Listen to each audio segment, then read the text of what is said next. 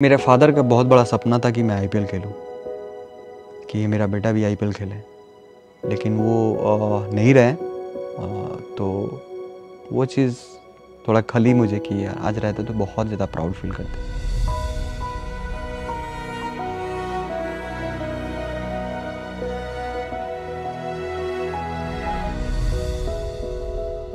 तो जब ऑक्शन हो रहा था तो स्टार्टिंग में कुछ बड़े प्लेयर ने जो इंटरनेशनल प्लेयर है, उनकी ऑक्शन चल रही थी। तब तक मेरे दोस्त का फ़ोन आया, बोला कि, भाई, क्या कर रहा है तू?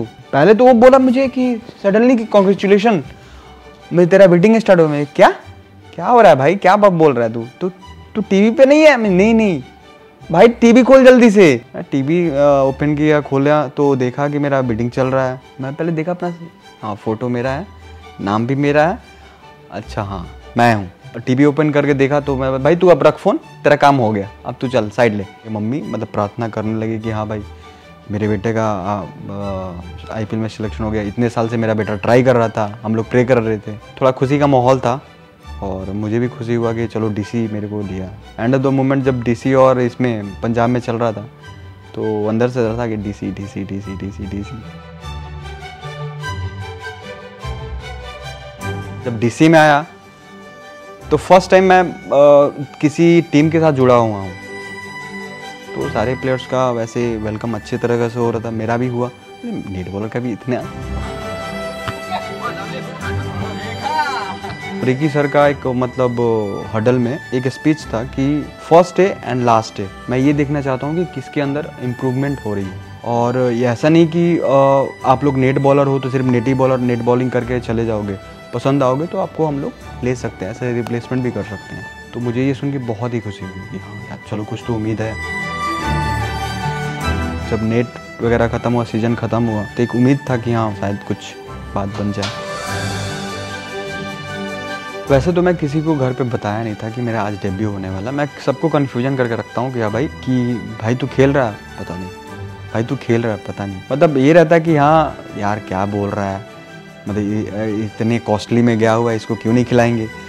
मैं पता नहीं यार, जो होगा देख लेना और क्या। पहले से मैं किसी को बताता नहीं, बस एक मम्मी को बता कर रखा था मैं कि माँ, मैं हो सकता खेलूँगा पहला मैच। जिस दिन मेरा डेब्यू हुआ तो उस दिन जेम्स होप सर बोल रहे थे कि आर यू मतलब स्कैर्ड मतलब तुम क्या डरे हुए हो? मैं, नहीं नहीं, मैं, मुझे कुछ नहीं मैं आई एम कम्फर्टेबल मुझे तो बस है कि अभी जाके बॉल डालना स्टार्ट कर दूँ मैं। और वो मोमेंट जब हडल हुआ तो रिकी सर ने जब बोला कि अजीत अगरकर सर को कि इन, इनसे कैप मिलेगा मुकेश को तो बहुत ही खुशी हुई मुझे कि एक चलो इंडिया के लेजेंड से मुझे कैप मिल रहा है। जब मैं हाथ मेरे हाथ में बॉल आया सेकंड ओवर के लिए तो बस वो फ्लैश बैक में गया मैं कि क्या था मैं खेत में खेलने वाला लड़का। आज इंटरनेशनल मतलब जैसे लेवल का गेम खेल रहा है, वो भी इतने तीस चालीस हज़ार क्राउड के बीच में, और क्राउड चिल्ला रही है।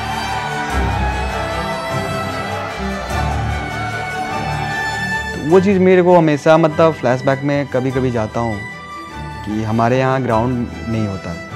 हमारे यहाँ दो सीज़न ही मैच होता है, खेलते हम लोग, बरसात के, बीतने के बाद और एक बरसात गर्मी के टाइम तो वो चीज़ हमेशा मेरे को याद रहता है कि यार, कहाँ था मैं और कहाँ से कहाँ आया मेरे फादर का बहुत बड़ा सपना था कि मैं आईपीएल खेलूं, कि मेरा बेटा भी आईपीएल खेले आज अगर आज रहते तो उनको मैं बुला के बैठाता कि, पापा देखो, मैं खेल रहा हूँ। मन में मलाल रहता है हमेशा कि यहाँ और रहेगा भी हमेशा के लिए